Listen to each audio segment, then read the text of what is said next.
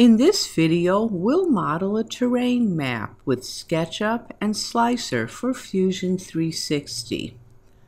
Click on File, Geolocation, Add Location.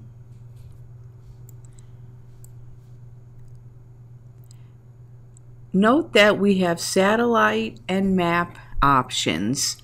SketchUp Pro will have both. SketchUp Make will only have Map. Now be aware that this only works in SketchUp 2017. I'm using satellite and I'm going to type in an area. You can type in a general location or a street address. Pan around to look for the specific area you want and you can also zoom in. Then click Select Region and hone in on it with these pins. Then click Grab.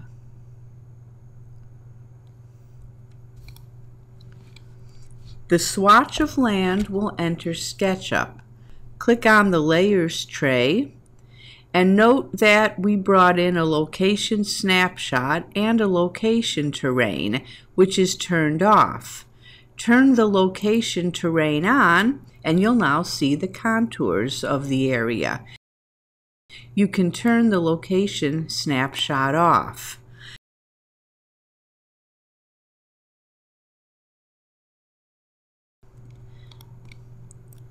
This is a locked group, as you can tell by the red color.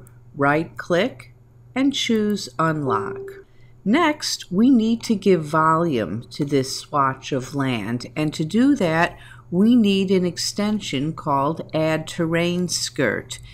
This is an extension that you can get at sketchucation.com, and you do need to be a paying subscriber for it. If you search for Add Terrain Skirt,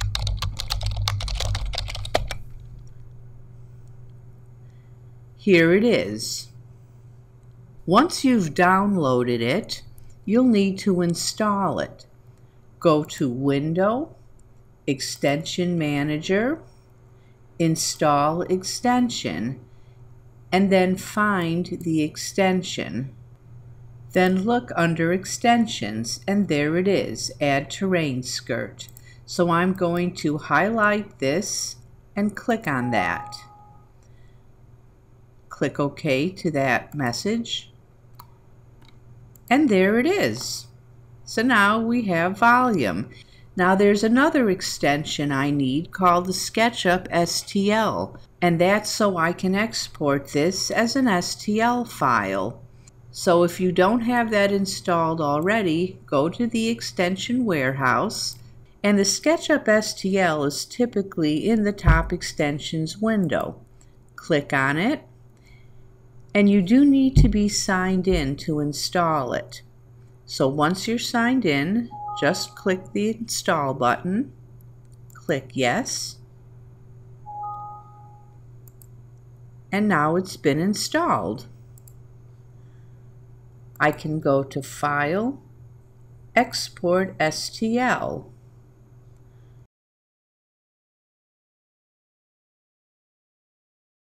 Next, go to the Autodesk App Store and download Slicer. You need to log in to your Autodesk account and then download this. Once you download and install it, launch it, and this is what you'll see. Click Import and navigate to the STL file. Here it is. And that's the file. Under construction techniques, choose stacked slices. And since I don't want it sliced that way, I'm going to choose slice direction and rotate the direction of the slices.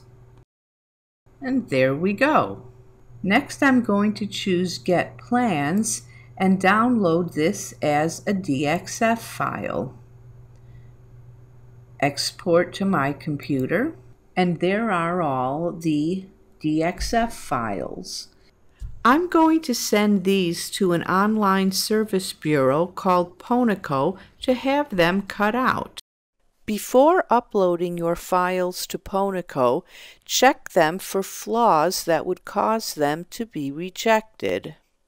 Import them into AutoCAD and run the overkill command. This command finds duplicate geometry.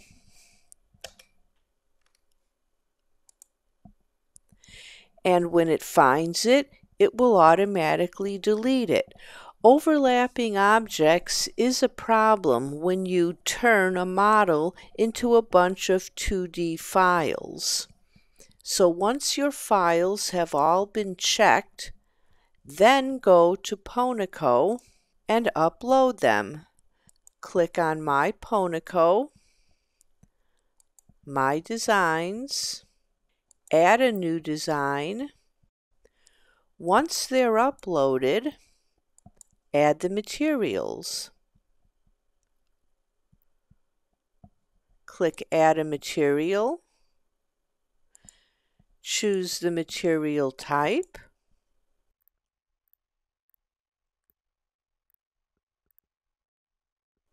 Do that for all of them, and then click Make It.